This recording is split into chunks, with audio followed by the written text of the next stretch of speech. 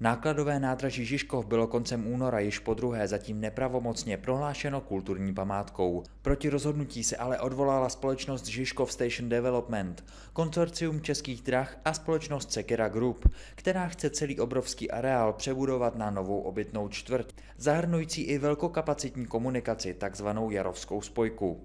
V tom jí však brání právě status kulturní památky.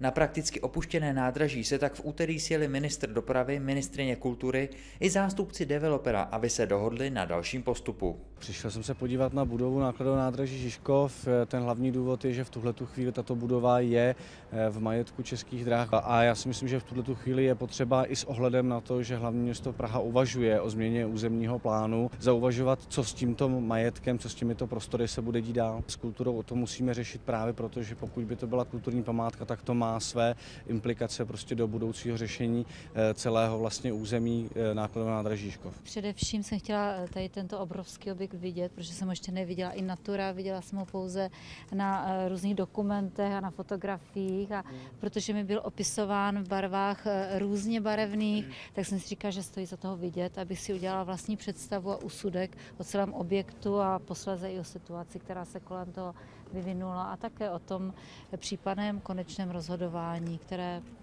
určitě nějakým způsobem proběhne.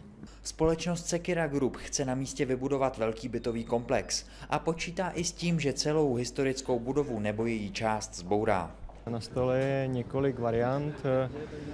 Pro nás velmi obtížně přijatelná varianta je varianta plného zachování té budovy, to znamená vyhlášení památky na celý ten objekt, protože to skutečně je v konfliktu s tím původním zadáním, s tím, že teda v místě části té budovy má proběhnout dopravní skelet na druhé straně dokážeme si představit eh, částečné zachování té budovy, zachování nějaké částí. Jedná se tady vlastně o nějaký větší bytový komplex eh, s tím, že teď v tuto chvíli v územním plánu je ještě namalovaná jarovská spojka, která jde právě tím levým křídlem, pokud se podíváme z této strany, tím delším, eh, které by mělo být tím pádem zbořeno, a což samozřejmě dopadá i na to, že pokud by to byla kulturní památka, tak by to bylo zásadní problém při změně územního plánu. Návštěvě areálu následoval kulatý stůl o budoucnosti tohoto místa. Pozvánku ale nedostali zástupci občanských iniciativ, kteří toto gesto vnímají jako vyloučení veřejnosti z důležitých jednání o kauzách na Praze 3.